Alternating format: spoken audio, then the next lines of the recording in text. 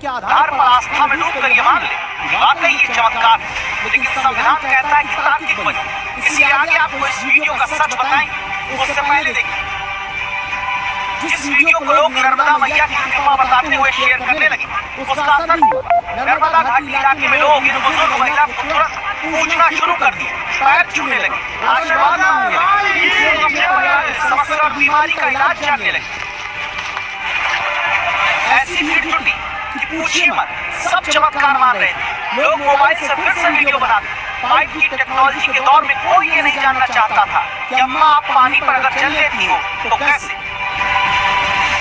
माँ नर्मदा की परिक्रमा में एक अद्भुत चमत्कार एक माता जी जो निरंतर चल रही है जहाँ उनका आभार होता है, वहाँ रुक रही है भक्तों को अपना आशीर्वाद प्रदान कर रही है। हम लोगों ने भी देखा जब वीडियो में देखा तो वास्तव में वीडियो में समझ में आ रहा है कि कोई जेल में पैदल चल रहा है। उसी तारतम्य में माता जी यहाँ गीता धाम आई हम लोगों ने दर्शन किया यहाँ गीता धाम जबलपुर में इतने भक्तों को मंदिर के पास एक वायरल वीडियो को देखकर जुटना देख पुलिस के भी हाथ पाँव फूलने लगे। गनीमत रही कि पुलिस आस्था के नाम पर मेला पूरा लगने से पहले पहुँच गई। वायरल वीडियो वाली माता जी को अपने साथ लेकर आई। आगे की कहानी आप भी सुनिए। अगर आपको लगता है कि पानी पर ये सिद्धि लेकर चल सकती है।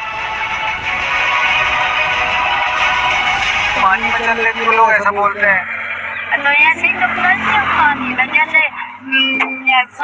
में किनारे से चलती है, जैसे महागोड़ है खेतों में सब्ज़ियाँ लगी बिल्कुल वहाँ के किनारे फैलसिंग है तो रास्ता निकलने को है ही नहीं है तो पानी में कूद जाती हूँ जैसे कमर कमर है तो उसमें कूद के निकल जाती हूँ जहाँ तक बारियाँ लगी पानी पानी में चल के और ऊपर से फिर रास्ता है तो जहाँ से ऊपर चल गहरे पानी के ऊपर भी चल लेती हो कि डूब जाती हो नहीं गहरे में नहीं चलती हाँ, ऊपर ऊपर पानी में गहरे में नहीं। गहरे में नहीं?